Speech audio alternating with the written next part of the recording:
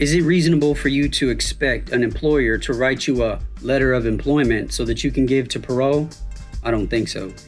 Um, some people ask this whether or not it's reasonable or you know how likely is it that a, an employer will respond in that way and i usually tell them it's not likely at all if you know the people, if you know the company, if your family are somehow connected, then it's a lot more likely. But if you just write some company and send them your resume and application and a handwritten letter, it's just not likely. I'm not trying to discourage you, I'm just trying to give you realistic expectations. If you just think about one thing, you'll realize why this is not a discouragement, it's just having realistic expectations. Out here in the free world, people fill out applications, they send in the application and the resume, and then the company makes a decision based on that paperwork whether or not you go through the second round, which is an interview. If they want free world folks to go through an interview, then why wouldn't they want somebody in the penitentiary to go through an interview?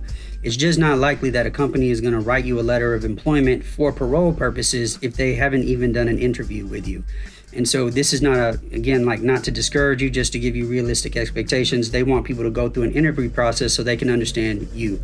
It's not that they necessarily have a problem with people in prison or that they wouldn't hire you. They just have you want everybody to go through an interview process. But one thing you can do that is more likely is ask them for a letter of intent to interview. They can make that determination based on your application and resume, just like they have everybody else. Having them write a letter of intent to interview is a much more likely possibility for parole purposes. That I've actually had done with an employer who worked out an agreement to write letters of intent to interview with people serving time in prison.